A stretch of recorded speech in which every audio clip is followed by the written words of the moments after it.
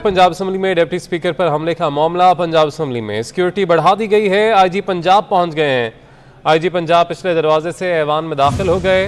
Police की भारी नफरी Punjab assembly पहुँच गई है। सिक्योरिटी एहलकार पंजाब असम्बली सेक्रेटरीट के अंदर चले गए।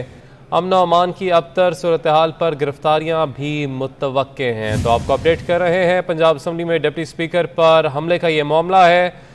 पीटीआई अरकान की जानब से उन पर हमला किया गया, उनके बाल खींचे गए, थप्पड़ मारे गए, जबकि अब पंजाब असम्बली में सिक्योरिटी बढ़ा दी गई है। आईजी पंजाब भी पंजाब असम्बली पहुँच गए हैं।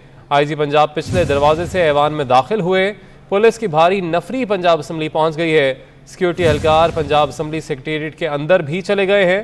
अमन अमान की अबतर सूरत हाल पर गिरफ्तारियाँ भी मुतव हैं, जबकि स्पीकर पंजाब असम्बली चौधरी परवेज इलाही की जानब से पुलिस के अंदर दाखिल होने पर शदीद तशवीश का इजहार किया गया और गम गुस्से का इजहार किया गया और उन्होंने कहा कि मैं आई जी को इस हवाले से सजा दूँगा। वो असम्बली के अंदर कैसे दाखिल हो सकते हैं? पंजाब असम्बली में डिप्टी स्पीकर पर हमले का ये मामला है।